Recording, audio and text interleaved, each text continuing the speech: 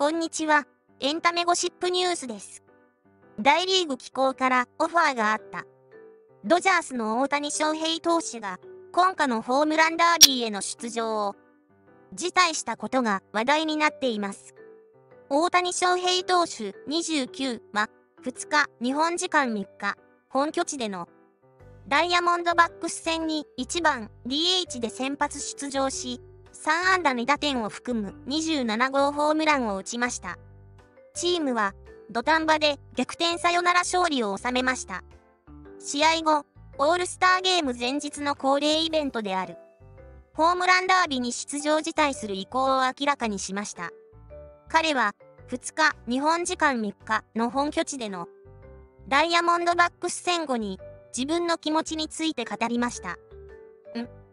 まああの話が来て、いろいろと話をして、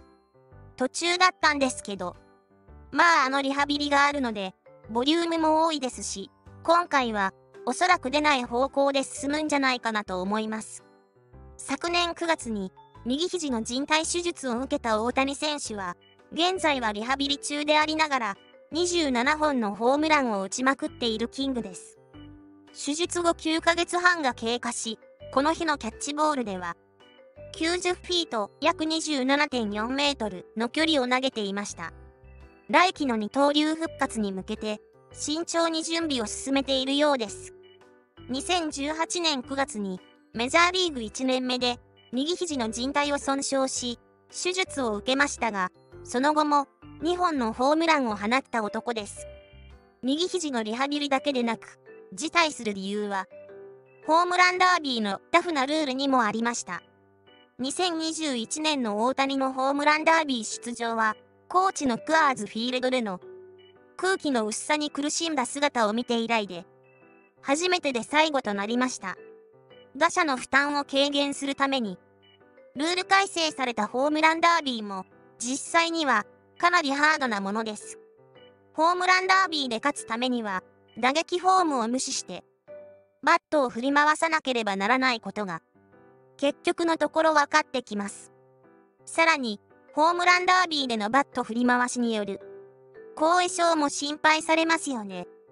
2021年前半戦では、84試合で33本塁打を放ちましたが、後半戦では71試合で13本にとどまり、失速しました。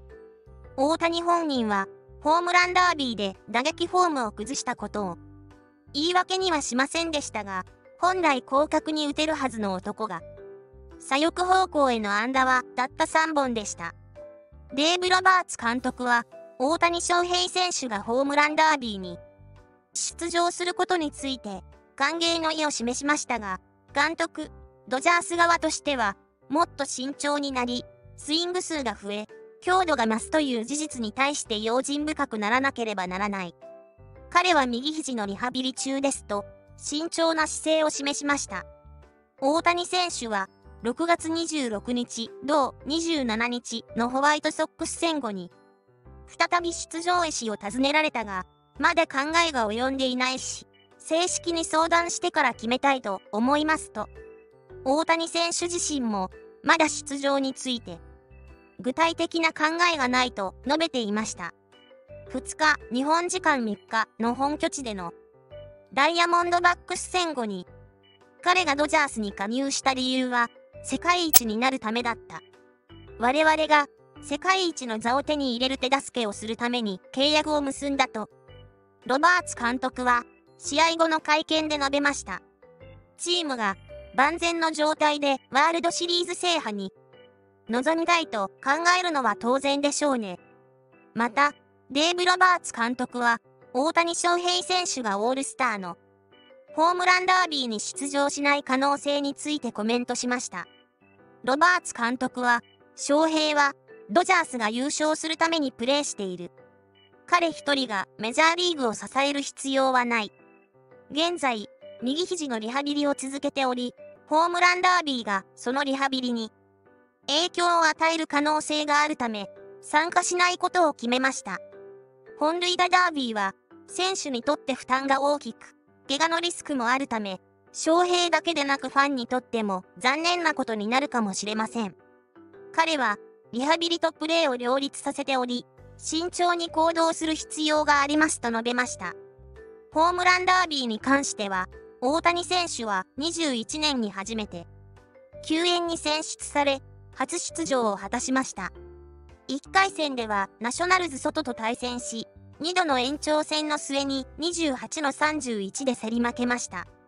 デンバーで開催されたこのイベントでは、打球が飛びやすいため、大谷選手は特大アーチを6本も放ち、観客を沸かせました。しかし、22年は後半戦の開幕日に先発登板するため、23年は右手中指の爪と豆の影響で出場を断念しています。ホームランダービーの賞金について追加するとすれば、優勝賞金は100万ドル1億6200万円です。前回出場時、大谷選手は参加賞金をチーム関係者に分配していましたが、7億ドルの選手に対して100万ドルは少ないように感じます。本人は賞金に興味がないかもしれませんが、それでも安すぎると思われるかもしれません。大谷選手は2021年に初めて救援に選出され、本塁打競争に参加し、その後2年間は不参加が続いています。今年はア・リーグの本塁打王争いでトップに立つ。ヤンキースのジャッジも辞退し、メジャーリーグを代表する2人の強打者が揃って、不参加となりました。ネットの声を見てみましょう。ホームランダービーもちろん大谷選手には出てほしいですが、あれって、やっぱり、どうしても、変に力が入って、無理に遠くへ飛べば、そう飛ばそうとしてフォームを、崩しちゃうようなイメージもすごいあって、出てもらいたいけど今後のシーズンのことを考えると出てほしくもないし、そんな悩ましい気持ちになりますね。ピッチャーをやっていない今年が、出るチャンスという向きもあったようだけど、忘れちゃいけないのは、二足のわらじが本職の彼にとって、ピッチャーをできてない年だということだよね。関係なく打ちまくってるので、つい感覚が麻痺しがちだけど、リハビリを考慮しての事態、賢明だと思います。後半戦も、元気に試合に出て活躍する大谷さんを見たい。出なくて問題ないし、これで怪我さえなければ疲労度に関しても、今年は打者専念だから間違いなく、体力面の維持ができる。今年は、かなりの成績を残せる見込みが立った。おそらく、オールスター前後に相当打つはず。7月までで40本いければ、記録もあり得るレベルだろう。大谷翔平選手の性格ならホームラン競争にも、出場したいとの思いがあるのだろうが、いくら層の厚いドジャースだとしても、別選手を書き、ホームラン競争で大谷選手まで後半戦調子を落としてしまえば元も子もない。大谷選手もじりじりするポストシーズンを味わうために、ドジャース移籍を決めたのだから。今回の判断は、チームにとっても、リハビリ中の大谷選手にとっても、まさしく、賢明な判断だったと思う。出ないことは、賢明な選択だと思う。3年前も、ホームランダービーに出ると、フォームを崩して、後半打てなくなるとの多数のホームランバッターの経験から、懸念されていて、その通りになってしまった。ホームランダービーに出ずとも大谷が優れた。ホームランバッターだということは誰もが知っている。イチローのような隠れホームランバッターが、それを証明するというためなら、意味のある余興だと思うけど、大谷やジャッジのような真のホームランキングが出ることもない。大谷には50本を超えるレベルの高い、ホームランタイトルを取って、MLB では誰も近づけないような、ホームラン投手としての記録を積み重ねるとともに、三冠王投手という前人未到の偉業に挑戦してほしい。よかった。ホームランダービーのキングになるよりも、シーズンを通じてのホームラン王の方が価値があるし、何よりも、チームの優勝に貢献する方がずっと価値がある。そのためには、健康管理が何よりも大切。素晴らしい判断だと思います。いかがだったでしょうか？